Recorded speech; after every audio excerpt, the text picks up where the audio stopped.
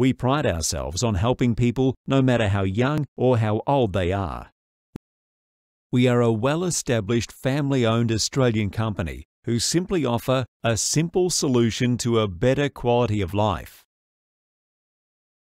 Our consultants undergo extensive training on uses and benefits of superior therapy products, which do not involve drugs, ointments, or invasive surgery.